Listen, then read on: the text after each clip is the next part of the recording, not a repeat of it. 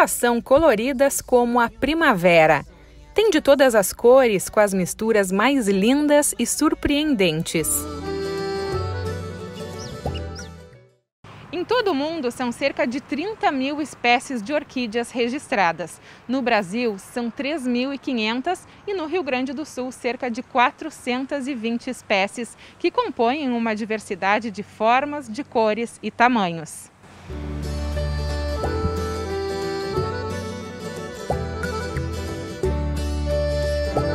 Esse aqui é uma catleia intermédia cerúlea. Esse aqui é um híbrido. Sim. É uma BLC Vânia Miller. Essa aqui é uma catleia intermédia rubra. É a flâmia marginata. Angrex esquipedale, também conhecida como estrela de Davi.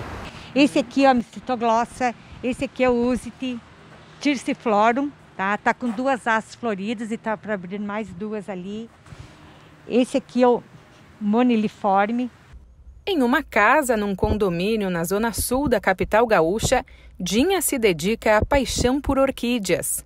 São 400 espécies e quase 4 mil unidades de orquídeas aqui no Orquidário da Dinha, que teve início há cinco anos. Dinha, como é que começou tudo isso? Bom, a minha paixão por plantas é desde a minha infância, desde criança. Eu morava no interior, meu pai plantava soja, criava gado, e eu adorava ir com ele na lavoura, no, no meio do mato. E desde criança, meu pai e minha mãe sempre gostaram muito de plantas e eu me envolvia muito. Tanto que a horta, o jardim, eu sempre ajudei a eles a, a cuidar. Há 10 anos atrás, eu comecei a, a ir nas exposições, buscar nos orquidários algumas espécies diferentes.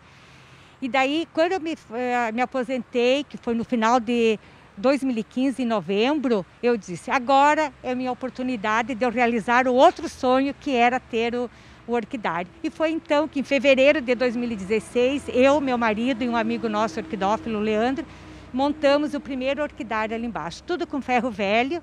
Tá? Então, eu tinha umas 50 plantas, organizei aquelas 50 plantas que eu tinha ali e ali fui em busca. Me associei no Círculo Gaúcho de Orquidófilos, que é a nossa associação aqui de Porto Alegre, e fui buscando informações sobre, sobre as plantas, já as que eu tinha e as que eu fui, que eu fui adquirindo. Em 2019, como foi aumentando o número de orquídeas, eu comecei a participar de, de, de exposições, foi aumentando e daí tivemos que construir, as plantas não tinham mais onde colocar, daí tivemos que construir o orquidário. Isso aqui foi obra do meu marido, de fazer de dois andares, porque eu amava as bandas, as raízes, eu sou apaixonada pelas raízes das orquídeas, então ele construiu esse orquidário de, de dois andares. Nesses cinco anos, eu já visitei mais de 100 orquidários, tá? Já fui em orquidários aqui do interior do Rio Grande do Sul, de outros estados. Eu tenho uma filha que mora no exterior, eu fui com ela conhecer orquidários lá fora também. Orquídeas de todo mundo a gente pode encontrar aqui então? Ah, de vários lugares, de todo mundo. Da Tailândia, do Peru, da Alemanha, da França. Tem orquídeas de todo mundo, mas a maioria delas são brasileiras, né? Então tenho várias brasileiras, mas também tenho as, do, as de fora. Tem orquídeas de todos os tipos e espécies. E tudo que a imaginação permitir pode virar floreira. Tem toquinho de nó de pinho, rolhas e até peças de antiquário aqui é uma vassoura, esse aqui era uma, Ai, uma frigideira, uma frigideira de, de fritar batatinha. Aqui é um poron. O que a criatividade permitir virou suporte para a orquídea. Orqui... Ah, com certeza. Tudo que eu acho, que eu, que eu vejo que ela possa se agarrar, eu planto. A orquidófila, como são chamadas as pessoas que admiram e colecionam orquídeas, também coleciona prêmios. E aqui nós temos algumas das orquídeas que foram premiadas em exposições nos últimos dias. Dinha, conta para nós um pouquinho aí dessas premiações. Tá.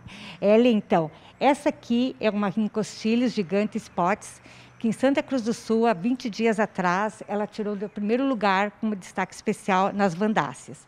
E agora, no final de semana que passou, nós tivemos a exposição nacional de Catleia Intermédia em Gramado e ela recebeu o segundo lugar. Aqui nós temos o Angrecum veite, que é a chamada orquídea de Davi, é a estrela de Davi. Essa aqui foi o destaque especial na, no festival então de, de Gramado. E a gente tem ali também no centro da mesa, que também foi premiada. premiada. Aquela ali é uma celogine flácida, dark form, Aqui em Gramado foi considerado o melhor conjunto floral da exposição.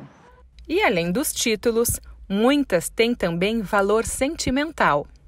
Eu tenho essa orquídea aqui, que é um Dendrobium musme, que eu ganhei do orquidófilo Akira. Ele veio aqui na minha casa e chegou e me entregou e disse: Dinha, essa orquídea eu cultivo há 25 anos, é um presente para você. Isso aí é, é indescritível a, a, o que eu senti naquele momento, sabe? Então, foi muito legal da, da parte dele.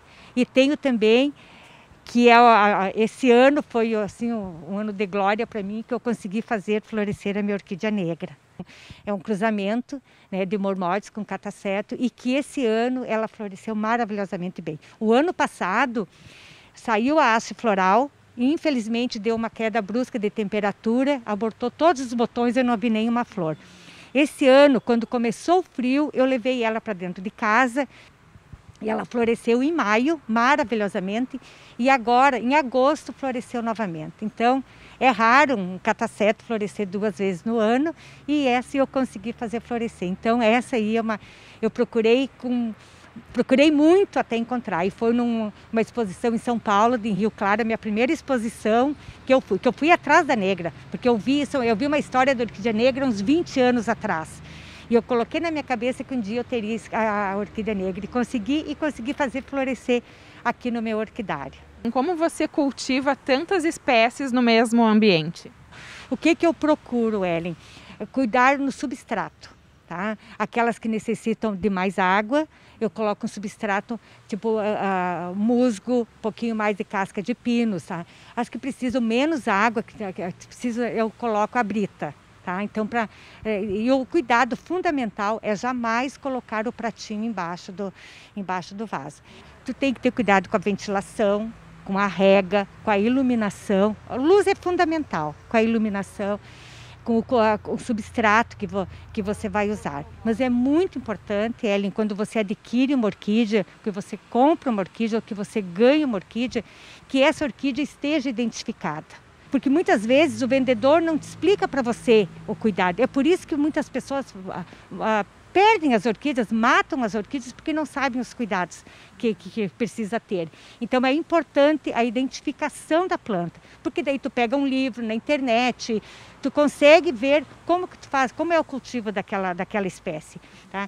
E outra coisa que eu vou dizer, adquira uma orquídea, compre uma orquídea. Ou se você não tiver, se você tiver uma ou mais orquídeas em casa, cuide delas com amor, cante para elas, fale com elas, encante-se, que logo, logo ela te brindará com uma bela e perfumada florada e você vai ficar radiante de alegria. É isso mais importante na orquídea, é essa alegria que ela te dá quando você vê ela florida. Descobri, Ellen, que eu sou apaixonada por orquídea há 44 anos. Quando a minha irmã mais velha casou, eu escolhi o buquê de, de, de, de, de noiva e eu pude descobrir que era orquídea sabe?